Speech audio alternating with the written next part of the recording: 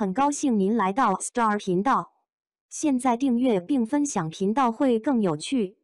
先合作张艺谋，再携手冯小刚、赵丽颖，以强势开启了电影新赛道。二零二四年才刚刚过半，作为影视圈中流砥柱的八十五花们，相关的格局却是已然发生了巨变。除了杨幂连扑哈尔滨一九四四、狐妖小红娘月红篇。遭遇到了演艺事业最大危机以外，其余的几位八十五花都迎来了大爆发。唐嫣凭借着一部《繁花》重回人气巅峰，并且还一度成为了白玉兰事后最大热门后，无疑已经开启了新的事业篇章。刘诗诗在一年关山后，也是夺回了古装一姐的位置，并且后续还有着竹叶篇待播，发展前景可以说一片大好。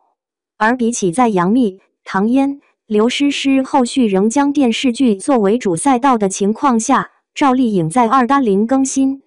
用一部与凤行再度证明了自己的实力，迎来了又一个人气高峰后，却是早已开启了电影新赛道的征程。在今年的春节档里，虽然贾玲的《热辣滚烫》最终成为了票房冠军。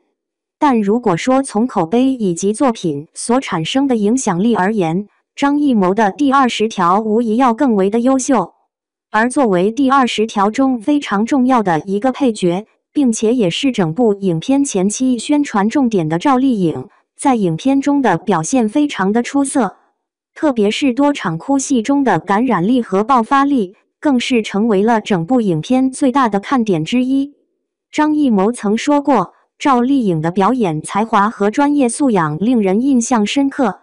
希望未来能够继续有更多的合作机会，共同创造出更多优秀的作品。从张艺谋的言语中，我们也是清晰的解读出张艺谋和赵丽颖的合作非常的顺利，并且赵丽颖的演技也是得到了认可，不仅得到了一向高要求的张艺谋如此高的评价。而且赵丽颖的表现也赢得了业界的一致认可，能与高叶一同被提名百花奖最佳女配，无疑就是最好的证明。而在刚刚合作完张艺谋、赵丽颖的下一部新电影，又在近日曝光。据悉，冯小刚的新电影《出狱女子的故事》已经开始了筹备，其中暂定的三位女主之一就是赵丽颖。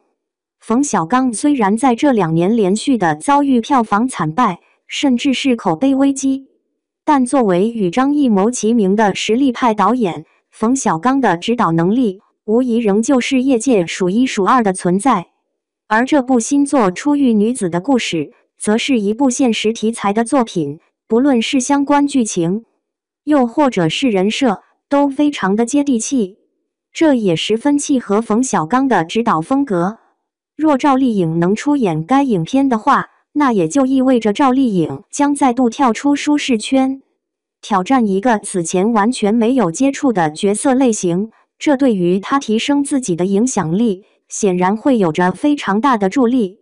先是合作张艺谋，又将携手冯小刚，赵丽颖已经用实力征服了一众大牌导演，也得到了更多大片资源的青睐。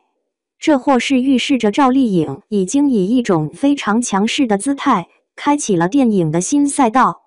毕竟，除了冯小刚的新作外，赵丽颖的《虎狼之路》、乔岩的新式酱园弄等三部主演电影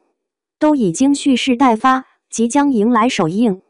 按照这样的趋势，赵丽颖很显然会在未来的一到两年时间里，就将彻底在电影圈中站稳脚跟。并且还有望成为八十五花中第一个转型成功，并且取得不俗票房成绩的女演员。届时，赵丽颖不仅将有着更为广阔的发展空间，而且整个八十五花的格局也将发生巨变。对此，大家是怎么看呢？